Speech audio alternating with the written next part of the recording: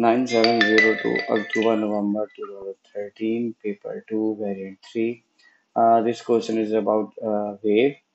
Uh, question number 5 define for a wave or one wavelength. Minimum distance between the points in a wave that are in phase.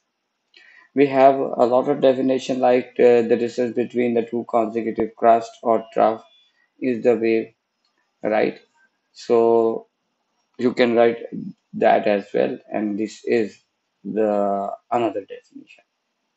Frequency. Number of wave front number of wave front per unit time. So you can write this you can write this number of oscillation per second right? You can uh, write uh, that as well use definition to deduce the relationship between lambda frequency and the speed of the wave so here we have just one wave. The distance between the d is uh, un- under this condition is uh, uh, wavelength, and the time required to complete this wave is a period. So as we know that uh, the velocity is distance upon time, so the, the wavelength is replaced by uh, with d and small t replaced with uh, capital T period and 1 upon period is actually the frequency. So speed is equals to frequency into wavelength. Plane waves on the surface of water represented by figure 5.1 at one particular instant of time. So this is one particular particular instant of time. And uh, the wave have frequencies 2.5 hertz. Determine the for the waves one its amplitude. So we have this uh, maximum displacement. This is the uh, uh, maximum uh, positive peak and this, this is the negative peak.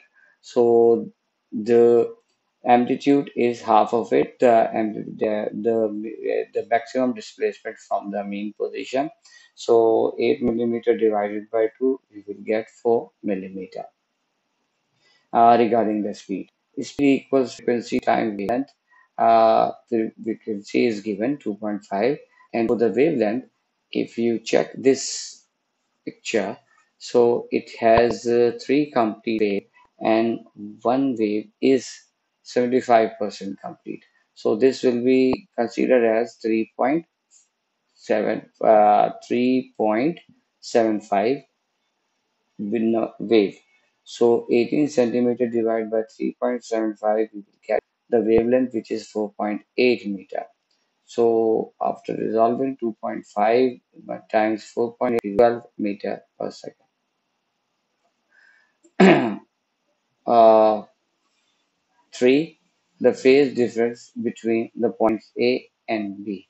So if you look at the uh, this uh, slide, both A and B right uh, are not in phase because this is the the, the, the point A is the particle uh, is considered the point B the particle the wave is showing downward and here it is moving upward.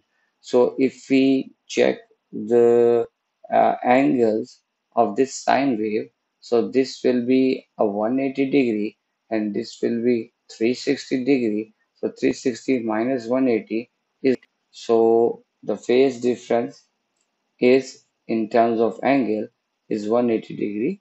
Unit is degree. So next part. Next part is a little bit straightforward, right? And uh, what is it?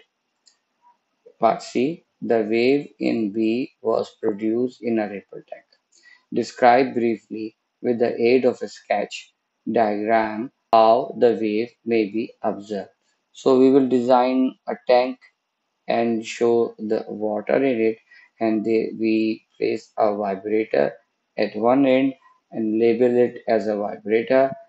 Put straightly upward a light source facing downward, right? So a reflection of water wave will be at the bottom right? So after generating the wave, right? The shades of crust will appear on the screen, and that shades is termed as wavefront.